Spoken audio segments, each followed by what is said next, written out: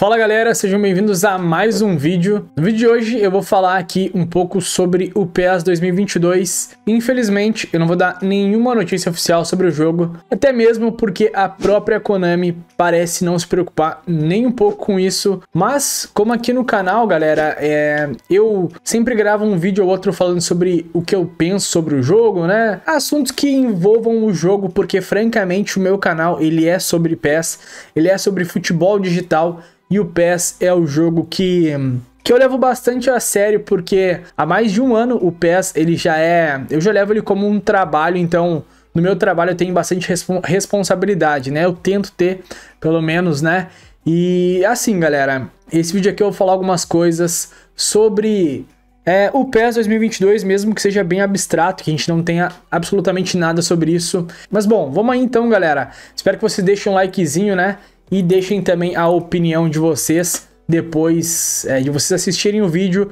Deixem a opinião de vocês que ela é bem importante também, beleza? O like no vídeo eu peço para ajudar o trabalho aqui do canal, né? E principalmente se vocês concordam com o que eu tô falando, é, com o que eu vou falar aqui no vídeo. É, sei que a Konami não merece like de ninguém, né, rapaziada? Mas vamos aí então. Bom, galera, o PES 2022 é um jogo que Desde que saiu o teaser dele, ele promete bastante coisa, porque é um jogo que vai mudar a engine, motor gráfico. É, a Unreal Engine é um motor gráfico aí que tem bastante potencial, né? Para entregar jogos de é, alta qualidade é, gráfica, mas a gente sabe que a parte gráfica sempre foi algo muito positivo no PES, né? E a gente não espera só isso do jogo, não. É, então, assim, o primeiro hype foi pela parte gráfica é, e da troca de motor também, porque isso vai trazer novas mecânicas e vai mudar a gameplay do jogo, né? Então a gente fica com a expectativa lá em cima. Mas a gente tá aí no mês de junho, né? Tô gravando o vídeo no dia 16 de junho e ele tá indo ao ar hoje mesmo, né?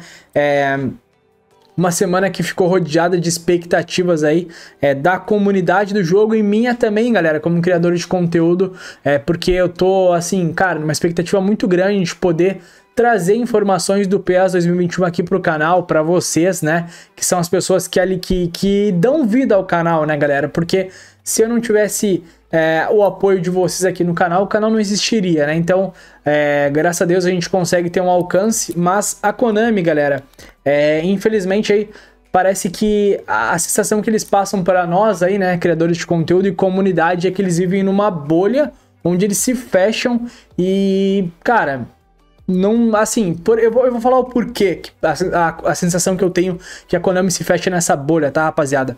Porque é, eles postam lá no Twitter da, da, oficial da Konami, oficial Twitter oficial de PES, tá? Eles postam campanhas, né? Eles estão fazendo uma hashtag da Euro e Futebol para votar, até na tela inicial do PES tem, né? Para votar na seleção que vai ser campeão da Eurocopa. E a seleção mais votada, ela vai ela vai ganhar essa, essa, essa, hashtag e aí é uma campanha valendo 100 mil GPs. Tipo, 100 mil GPs pra quê, galera? Quem é que quer 100 mil GPs no MyClub? Quem joga desde o início do jogo, não, velho, não tem o que fazer com 100 mil GPs. Não tem.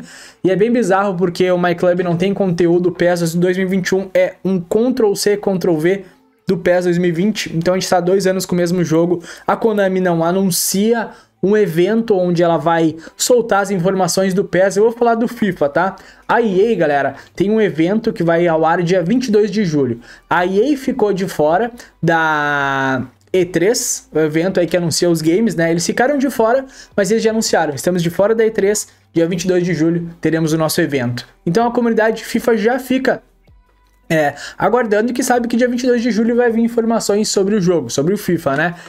E é, a Konami soltou uma nota dizendo que estava de fora da E3 e nada mais. Estão fora da E3 e quando que vem as notícias de PES 22? Ninguém sabe. Aí o Lingard, né? Eu já fiz um vídeo falando sobre isso. É, pra quem não sabe, eu vou deixar como sugestão no final desse vídeo. Fica postando aqueles enigmas dele lá no Twitter, depois some. E os, as redes oficiais do PS ficam postando essas campanhas de 100 mil GPs. Só que eles não veem que o jogo já morreu, que o PS 2021. Galera, é dois anos jogando o mesmo jogo, rapaziada. Então, assim, a galera tá na expectativa do PES 2022. A gente não sabe qual plataforma vai ser jogado o jogo, se vai ser uma atualização pro PlayStation 4 ou não, a gente não sabe como vai ser.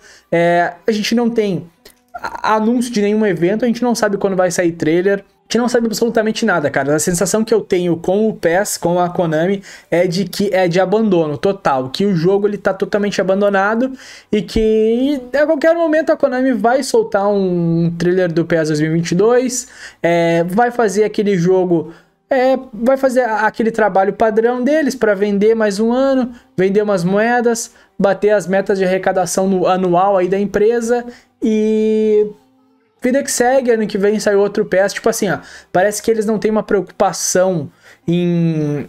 E não valorizam a comunidade do jogo, quem é fã da franquia, é, quem é criador de conteúdo, porque eles não alimentam o jogo, não alimentam a comunidade, não geram expectativa, não revelam nada.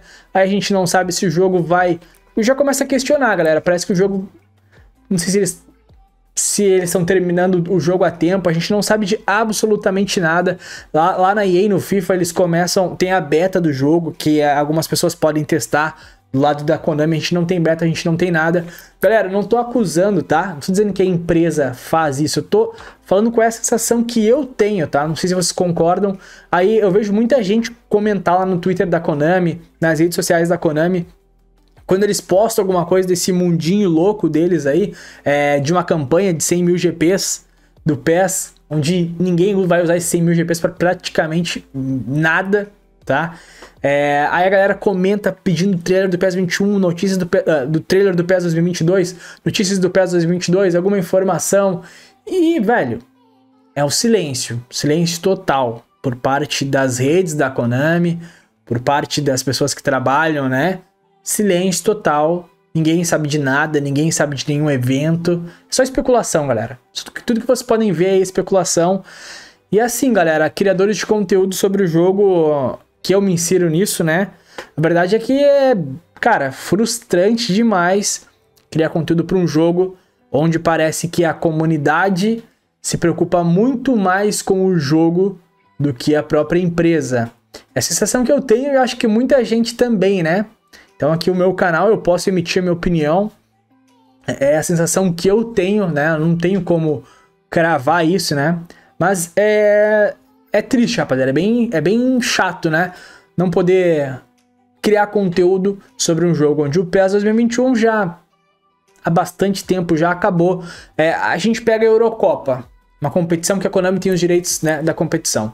Os times dentro do PES europeus não estão atualizados. O Benzema não está na França. Benzema é titular da França. Os elencos não estão atualizados. Vai vir uma atualização na próxima semana ou na outra. E a Eurocopa já vai estar tá acabando, tá ligado? Tipo, e lá no FIFA, velho, velhos, que não tem os direitos da competição, os elencos já estão atualizados. É um tapa na cara, né, velho?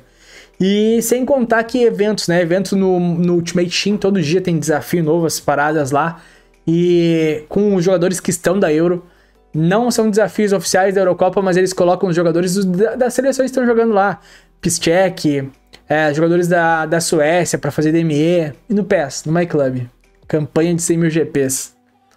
Então, o PES 22, galera, infelizmente, bem preocupante. É, me preocupa até mesmo para continuar é, trabalhando com um jogo onde parece que a empresa faz as coisas empurrando com a barriga e eu sinceramente levo bem a sério o meu trabalho aqui é, para ficar nas mãos, né, de um game onde nós, comunidade, criadores de conteúdo, nos preocupamos mais com o jogo do que a empresa que desenvolve ele e não mostre, não fala sobre evento nenhum de revelação, não fala sobre datas, não fala sobre novos modos que foi prometido, né, novos modos de jogo é, cutscenes, animações, Master League que vai ser reformulada. Não sabemos nada, né? O que a gente. Algumas pessoas dizem é que tá tudo dentro do prazo, dentro do planejamento da Konami. Mas o que me chateia é que a Konami não consegue perceber que o PS21 acabou, não tem mais o que alimentar. Infelizmente, já foi o jogo. É o mesmo jogo do PS 2020, jogado dois anos. E eu tenho alguns amigos que, que jogam PES em ótimo nível. E fãs da franquia que já pararam de jogar. E eu falei, pô, velho, bora continuar aí e tal. Não dá, velho. Dois anos mesmo jogo e eu não tenho o que falar pra rapaziada, né? É, basicamente é isso, tá, galera? É, eu botei o um texto aí sobre o PS22 porque a expectativa de vocês, é, vocês podem multiplicar por 5 ou por 10, que é a minha expectativa com o jogo. Mas, infelizmente, como a gente começa é, com esse silêncio, né? Assim, a, cara, a Konami ela tem todo o direito de não postar nada sobre o PS22 se não tá é, dentro do cronograma dela. Mas faz que nem EA, velho. Bota uma data, irmão. Bota uma data de, de anúncio. Tá entendendo? Tipo, valoriza a comunidade do jogo. Não acontece isso, tá, rapaziada? Bom, o vídeo tá ficando muito longo, né? E não é um vídeo informativo como eu gostaria, é mais falando sobre o futuro, talvez, da franquia, deixando a minha opinião um pouco é, sobre o jogo aí, né? E basicamente é isso, tá, galera? espero que, que vocês tenham assistido esse vídeo até o final. Se vocês assistiram, é, demonstra que vocês se importam com o canal, se importam com um jogo, talvez, com a franquia. E acho que principalmente com o canal aí, e concordam às vezes, né? Ou não com as coisas que eu falo. Mas é importante vocês deixarem a opinião de vocês aí também, beleza, galera? Então é isso. É, a qualquer momento, quando a Konami resolver é, falar algo sobre o PS22, eu trago para vocês em primeira mão. É, enquanto isso, seguimos aí nosso trabalho aqui no canal, é, torcendo por, por dias melhores aí pro jogo. Fechou, rapaziada? Um grande abraço a todos vocês então. Fiquem com Deus, até a próxima e valeu!